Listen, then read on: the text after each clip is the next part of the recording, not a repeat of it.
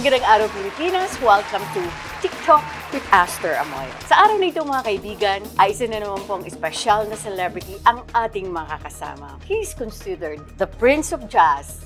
Mga kaibigan, let's all welcome Richard Murph! Palapakan na tayo.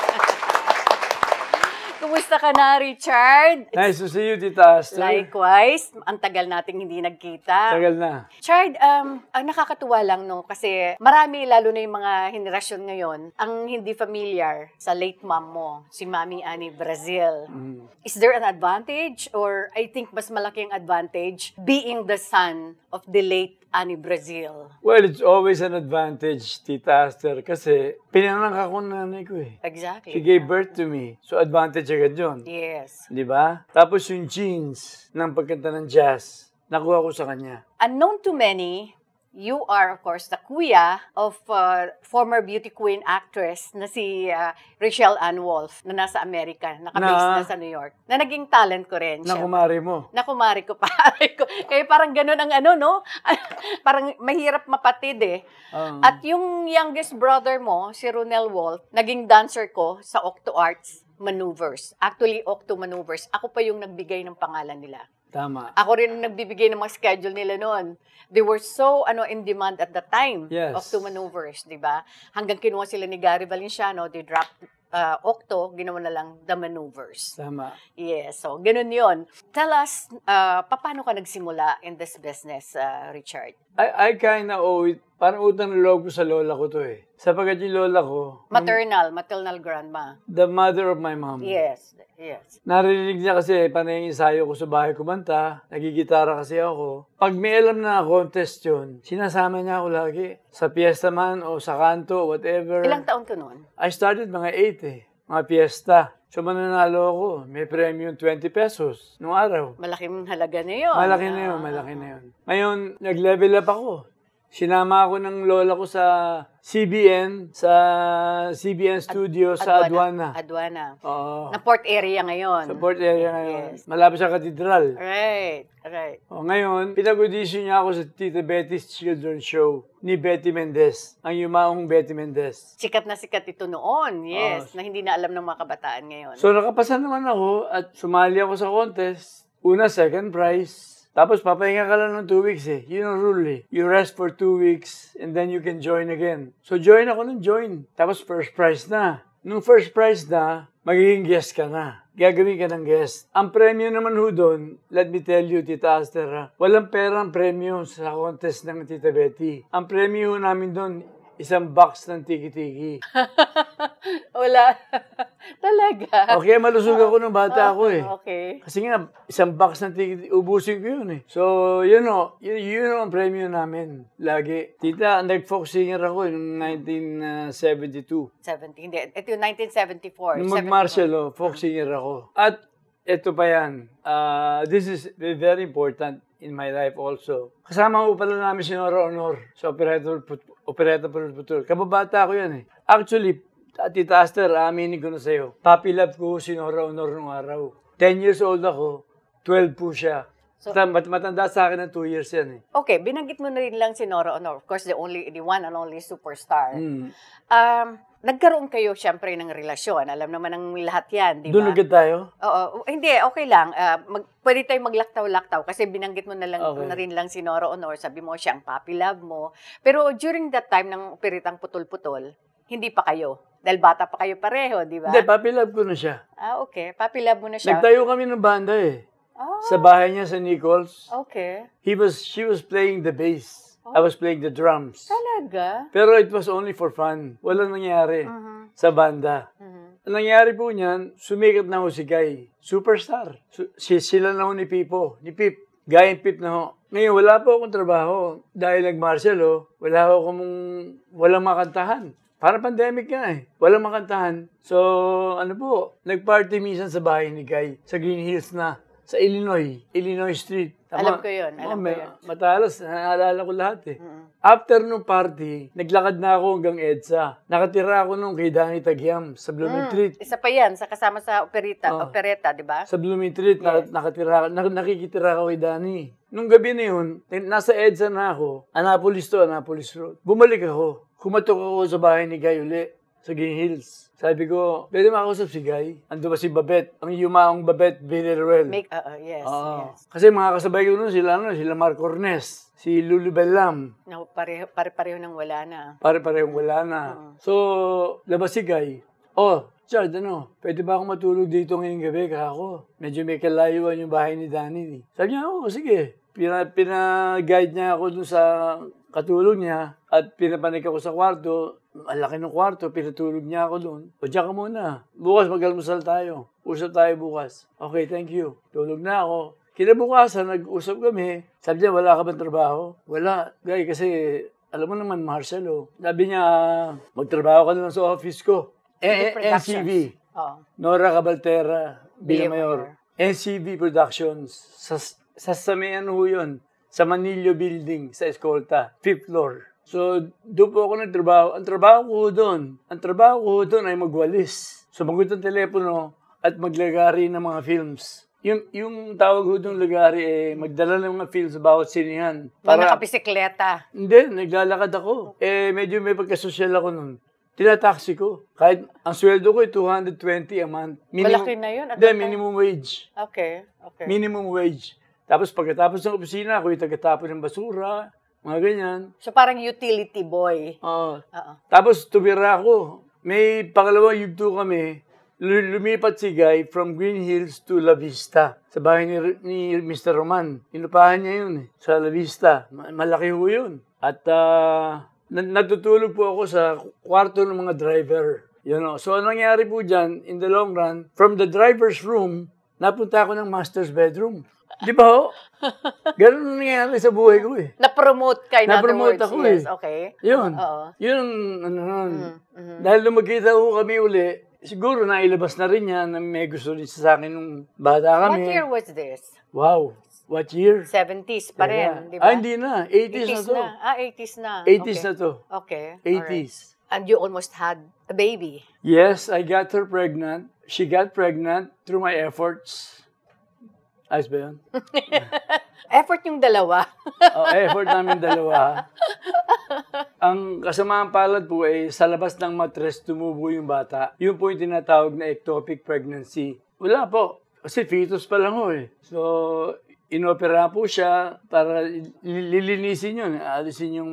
Dapat ko ba sabihin na inalis yung matres? yes. O, totoo naman eh. Oo. Inalis, nilinis. Ganun, ganun ho yun. Para knowledge lang ho sa inyo, sa mga hindi nakakaalam. Uh, was that the reason kung bakit kayo nagkahiwalay? Storya pa rin yan. Nagsama ho kami sa Limbaga. Yung bahay namin sa Limbaga. Scout Limbaga. Sa Quezon City ho. At four floors ho yun. Building ho yun eh. Na simyento eh. Isang araw ho, kasi lahat na lang ho nang iniisip ko sa araw-araw ay para kay Guy. Lahat ho, lahat ho talaga. Su- su- sumu- sumusulat ako ng story ng pelikula para kay Guy.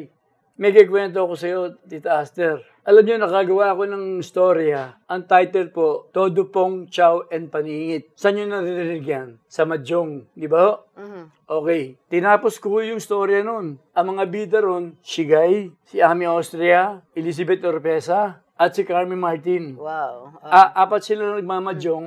Tapos ma- ma- ma- ma- ma- ma- mapupunta sa mga kwento, sa kwento ng bawat isa. Asawa ko, habang nagmamadyong, yung asawa ko kagabi, ginulpi ako. O yan, yan.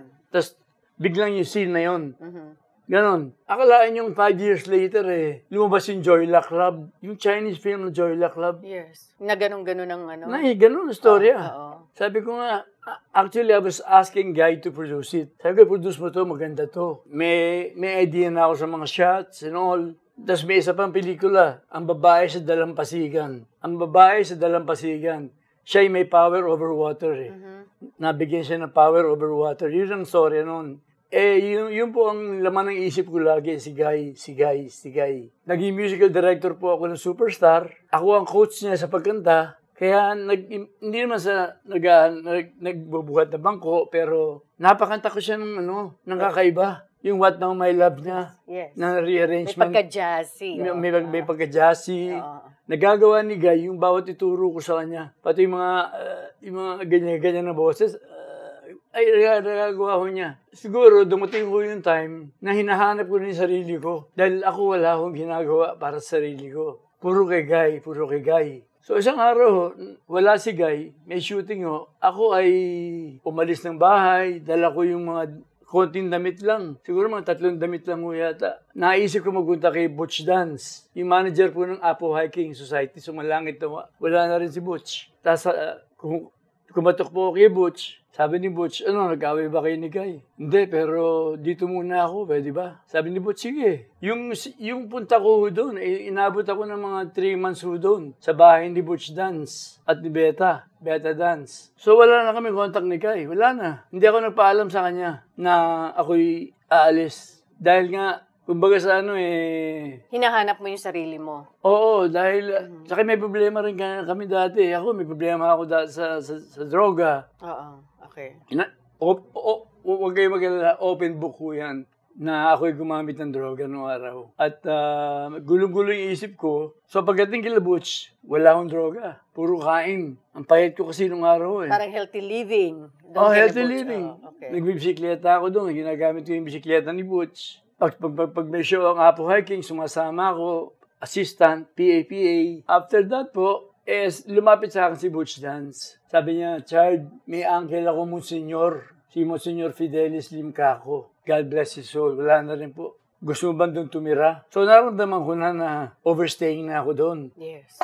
Di ba? Yes. Di ba, Tita Aster? Correct, Dahil correct. ano? Tsaka pamilya yun. Pamilya, eh. Pa, pamilya yun. Oo, may pamilya Hindi sila. lang niya masabi. Yes. Diretso. So gusto mo bang magstay sa uncle ko? Oo, oh, sabi ko, sige. So nagstay po ako sa simbahan ng dalawang taon. Nawala po ako sa scene. Wala po ako sa TV, radyo, wala po. Ako'y nakatira sa simbahan sa Fairview. Good Shepherd Church under the guidance of Monsignor Fidelis Limcaco. Yun po, do, yun, yun ang buhay ko. Buhay seminaryan. Las tres, dasal, Everyday po yan. Every morning po, ako po kumakanta sa mass. Napapanood pala ako ni Ninang Crispina Belen. Kaya sabi niya sa akin nung after nung maging ninang ko na siya, sa, sa kasal, sabi ni Ninang, napapanood kita nung araw every mass. Kasi taga-Fairview si Ninang Chris. Yes, yes. After po nung ano, take ko sa simbahan, lumipat ako sa isang bahay na inalok ako. Gapasin family po ito. Nagmagandang loob para daw maiba yung buhay ko. Lalabas naman ako ng simbahan, tumira sa kanila, family. Okay, nag-stay po ako doon. Tapos ho, eh, actually sinundo ako ni guys simbahan. Ayan, buhay po si Nora, alam niya lahat yan.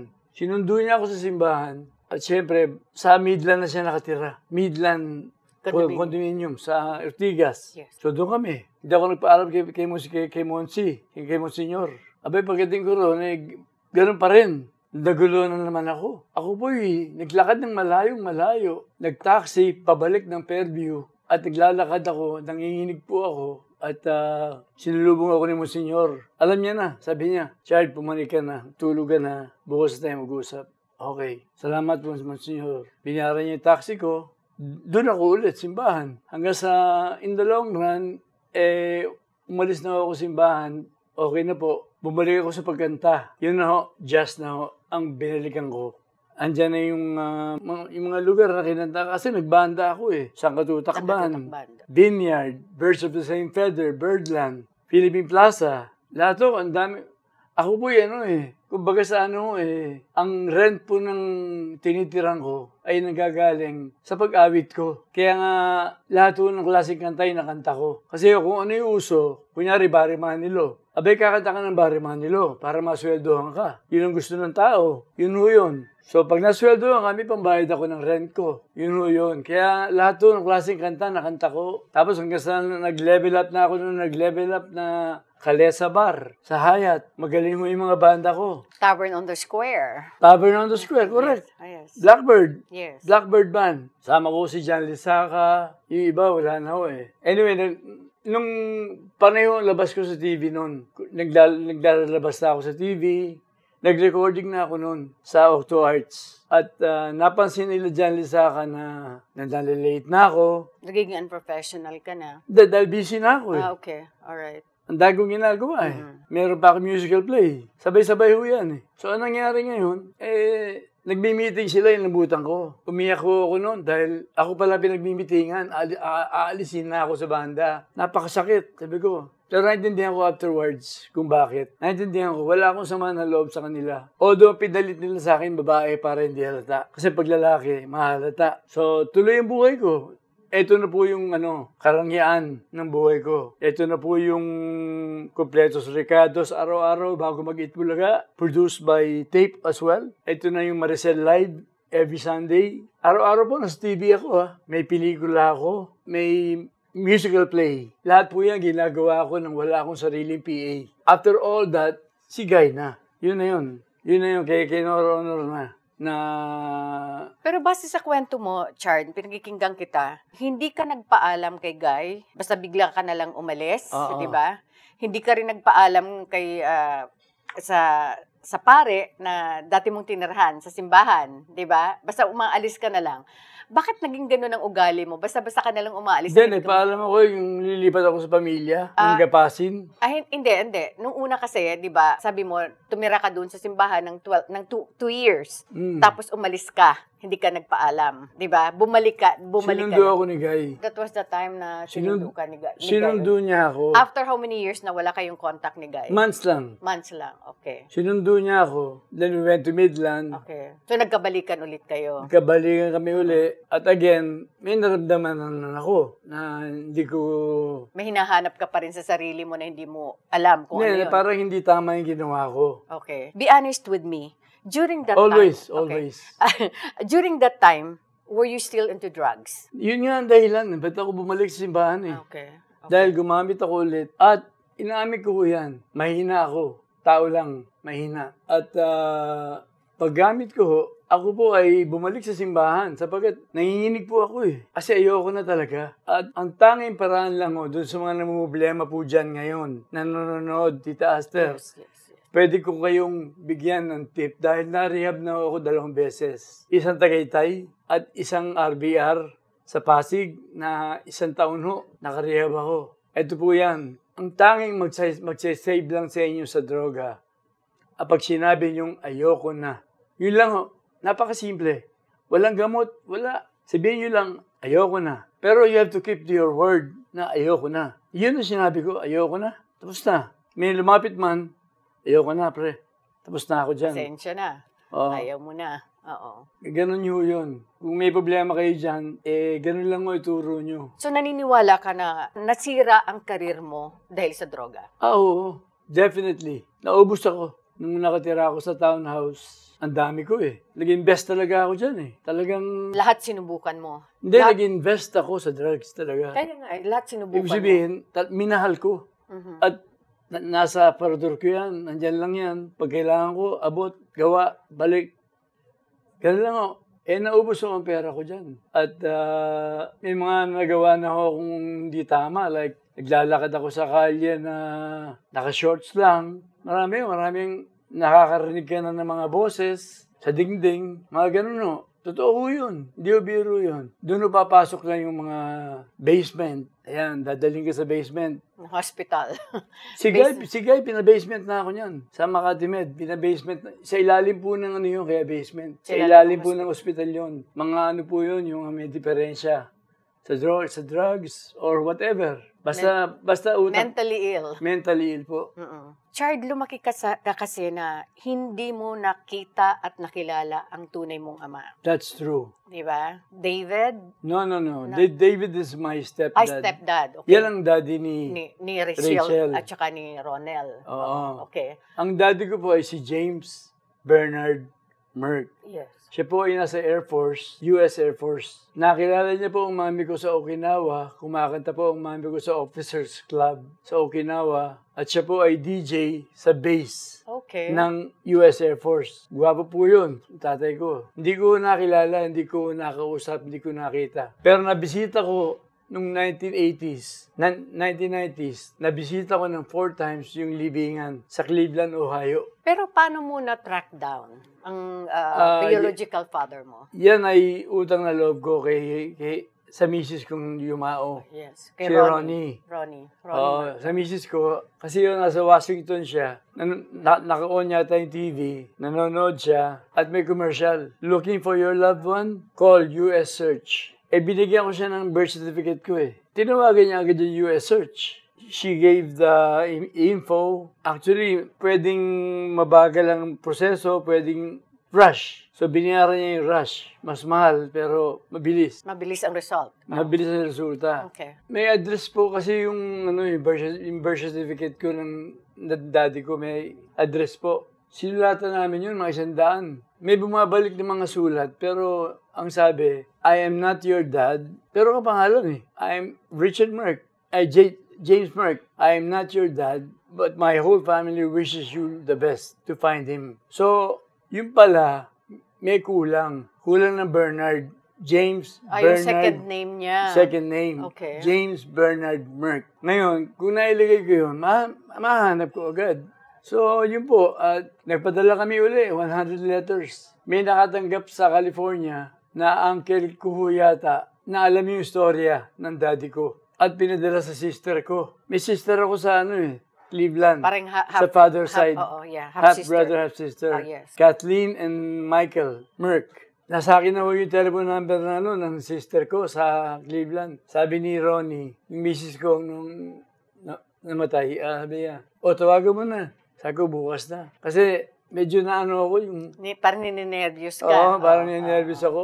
Excited and nervous at the same time. So the next day, sabi ko, tawagan ko na. Tinawagan ko. Sabi ko, hi, this is uh, Ricky. But yun ang palayo ko, Ricky. Yes. Sabi niya, Ricky who? Your brother, Ricky Merck.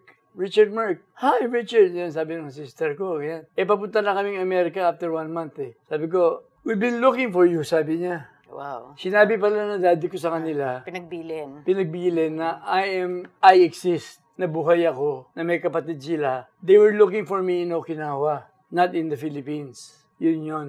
How come ang ma- mother mo during that time? Ituloy mo yung question. Sige. Sige, Tita Asta. Ah, bakit ang mother mo Hindi parang... sinabi sa akin. Exactly. Yes. Parang itinago sa'yo. Hindi ko na inistorbo ang mami ko tungkol dyan. Hindi ko na siya inistorbo. Bakit di mo sinabi sa akin? Wala, wala. Ayaw, ayaw saktan yung loob ng mami ko. So, hindi ko matalong yung mami ko tungkol doon.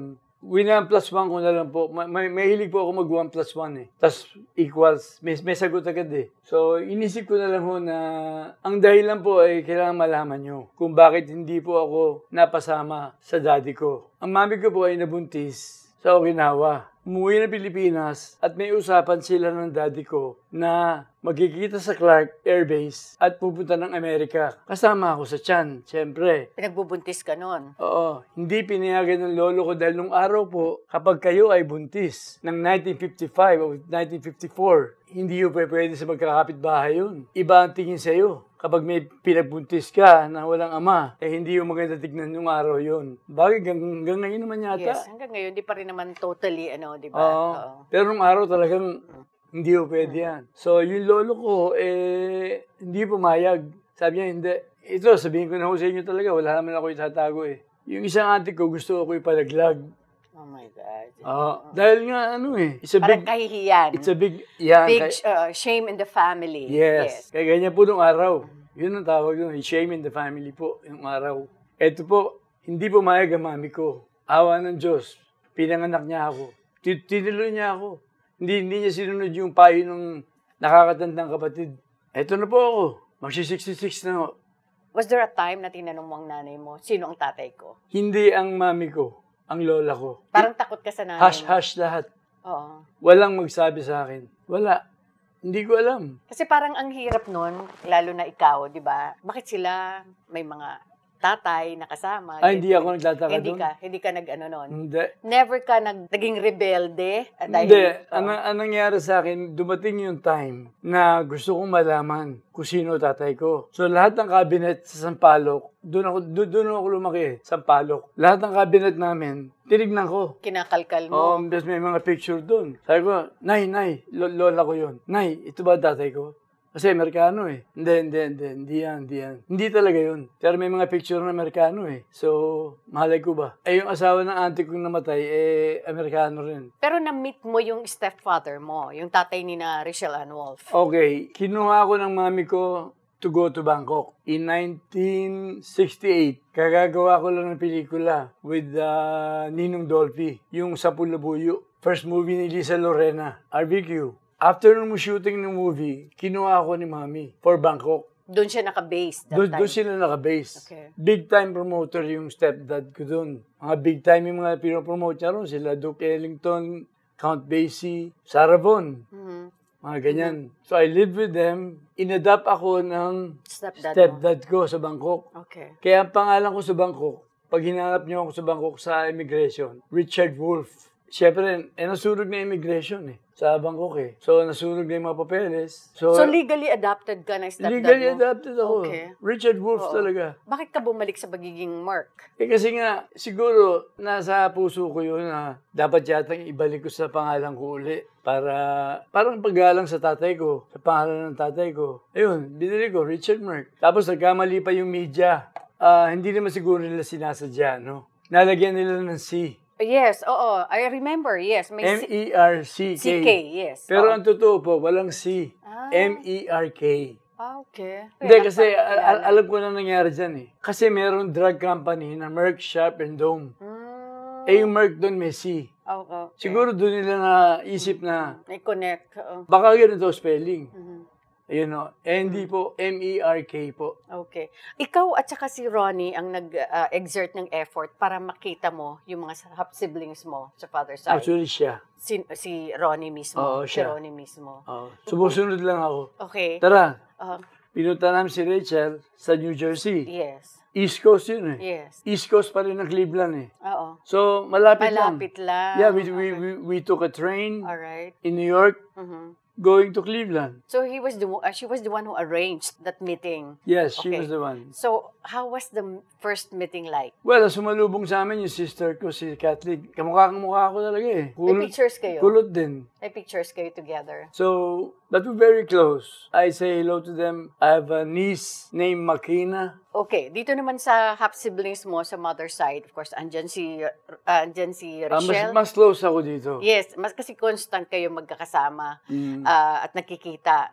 Si Rochelle, of course, andyan si Rafi, and of course si Ronel. At yung yumaong Bobby. Oh yeah, the late Bobby, yes. The yes, late of course, Bobby. yes. The first Miss Gay Philippines. Right, right. Oo, ang ganda-ganda. Ang pangalan ng Barbie. Oo, si Barbie. Ah, yes, Oo. I know Barbie. Yeah, pinuntahan ko pa yun. Sa LGBT po, eh, sikat-sikat po yun. Oo, si Barbie. Oo nga pala, si Barbie. She died at 24. Believe ako nung maging mag-asawa kayo ni Ronnie na talagang ano eh, marami rin siyang nagawa para sa'yo. Di ba? Oo naman. Oo, na parang nag-gel kayo, na parang, I don't know if tama yung term na sasabihin ko, parang nag-tame ka nung naging kayong dalawa. Kasi dati, parang happy-go-lucky ka lang, you don't really care. Di ba? Ito, ito yung the time na nagluloko ka, Yes, ka. ako. And then we put up Mercs. the Mer- Merck's Bar Yes. Bistro. Right. Na, in Greenbelt. na binuhos ko ang buhay ko ron sa bar na yun. Mhm. It lasted for seven years in Greenbelt 3. Abala ako talaga ron. Talagang I do everything there. The bands, the salaries, e- everything. Ako po ang...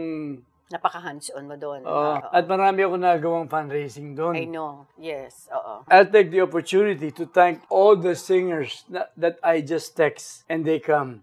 Hindi ka maniniwala dito, Aster. Isang text lang, uniform, padala sa lahat ng kaibigan ko. Dumarating. Para magbigay or magbigay ng kanilang ano, oras, hindi, two songs. talent, oo, for free. Yeah. For free. Even, even Tita Pilita. Dulce, suki ko yan eh. Sa mga fundraising, mahilig yan eh. Paano ba ako makakatulong dyan, pare?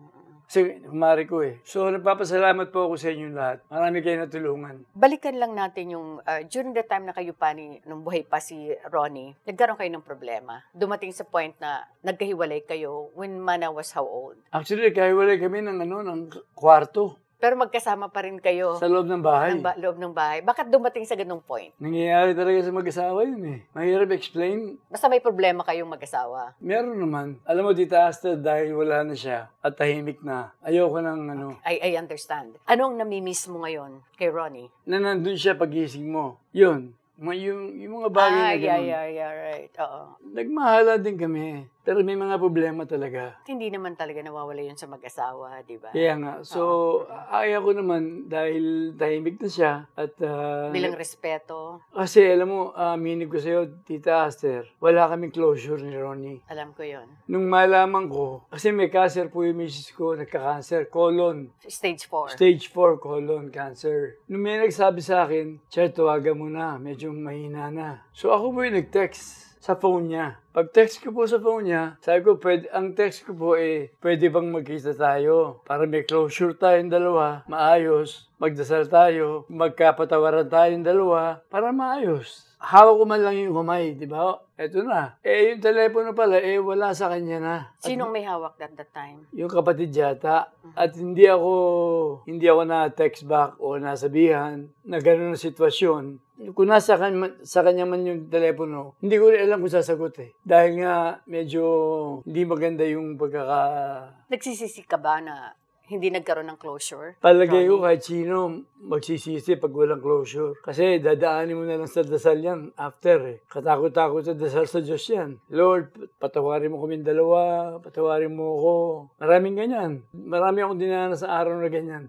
Ano ang natutunan mo? At ano ang nagpalakas ng loob mo to go on with your life? Ako, Tita Aster, medyo na, ano na ako ha. Sensya na, malakas po ang paniniwala ko sa Diyos. Ever since, sinasabi ko yan na God is with me all the time. Diyan ako kumukuha ng lakas sa panalangin, sa mga kaibigan ko na ngayon ay hindi ko makita sapagkat pandemic, yung mga iba, iniwan ako, nasa langit na. Marami akong kaibigan na wala na eh. Lalo yung mga musikerong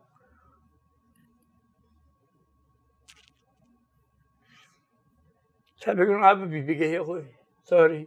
It's okay, it's okay, it's okay. Kasi pag, pagdating sa mga kaibigan ko, mahalaga sa akin. Wala nang mami mo, wala na rin ang daddy mo. Marami na rin sa mga kaibigan mong nawala, pero naandyan ang anak mo, naandyan si Mana. So, At, at nandiyan ang aking kaibigan si Direk Soki Hernandez na always there. Mat matagal ko siyang kaibigan eh. napakaswerte mo Dahil kumakanta ako ng jingle nung araw. Yung mga jingle commercial. sa mga commercials. Siya ang producer, mga ganun. Hindi ka iniwanan. Nung malaman niya may problema ako, she's there. Yun po. Sa akin po kasi mahalaga ang kaibigan. What are the lessons learned after all these trials na dumating sa buhay mo? Never to do all the wrong things again. Ako yung naging alcoholic dati. Eh ngayon, hindi na pwede. By the way, sa mga hindi po nakakaalam, ako po yung nagkaroon ng stroke last February. Habang tulog. Pwede ho pala yun. Habang tulog, may stroke ka. Pagising mo, hindi ka na, hindi ka na, hindi ka na makagalaw. Pwede kang hindi ka na magising at all. Buti nagising ako. Okay. Tinawag ko yung anak ko. Mana ho pangalan ng anak ko eh. Manya, manya. Bulol na ako. My God, sabi ko. Anong nangyari? Ba't ako hindi makagalaw? Yung pala, na-stroke na ako. So, diretso yung ospital. Again, si Direk yun nandun para tulungan ako. Yung anak ko, nagbabantay sa ospital. Panahon ng COVID. Na dapat bawal yan. Bawal siya ron. Yes. Eh, ganun talaga ang buhay. Kaya ako po yung na, na- nakaka-relate dun sa mga artista na may mga kapansanan. Ako po yung nakaka-relate. Kaya lang, oh, wala, wala rin ako sa lugar tumulong ngayon. Dapat tulungan ko muna ang sarili ko bago ako tumulong sa iba. Correct. Correct. Pero kung pagdarasal lang ang kailangan, nandito po ako para pagdasal kayo. Alam mo napakano ng buhay mo, Richard, na palagay ko kapupulutan ng aral ng lahat ng nanonood sa atin ngayon. Anong mensahe ang gusto mo ipaabot sa lahat? Maraming salamat to sa nagmahal sa akin. Maraming salamat to sa mga nagpasensya sa akin. Maraming salamat to sa mga tumulong sa akin. Marami kayo, al- alam niyo kung sino kayo. Napakarami tumulong sa akin. Grabe. Merong part na hagi na maputol yung pa ako. Di ba? Dumating nga pala sa point yon yes, yes. Na bago, hagi- pala, bago ka na-stroke, nagkaroon ka ng vehicular accident. Nabangga, bin, binangga ako ng truck. Nung isang taon tong nangyari, di ba? Hindi, mga 4 5 years ago. Okay. Four, four- Alright. Mas nauna na. yun, oo. nagkaroon po ng bacteria yung pa ako at gustong gawin ng doktor eh, Putulin. putulin po mula tuhod pababa. Sabi ko, Dok, pa ako yan. Puputulin mo. Kasi na-imagine ko ho, natatayo ako at babagsak. Dahil wala ho yung isang pa ako eh. Hanggang sa nakahanap po ako ng magaling na doktor sa paa. Kung may problema kayo, pa-plug ko na rin. Go ahead. Dahil natulungan niya ako eh. Go ahead. Si Dr. Luino Thompson. Hanapin nyo sa Chinese General Hospital. Let me thank my personal sponsors, Hello Glow, Ever Belena, Doc Rob's Chiropractic Wellness Clinic, Richie's Kitchen by Richie Ang, Mesa Tomas Morato, Quezon City, Erase Beauty Care, Nes Astille Salon for my hair and makeup, Gandang Ricky Reyes, Chato Sugay Jimenez, Ronald Arnaldo for my clothes, Crib by Studio Manila, Chef Tony Ang's Inasal. Maraming maraming salamat, Richard.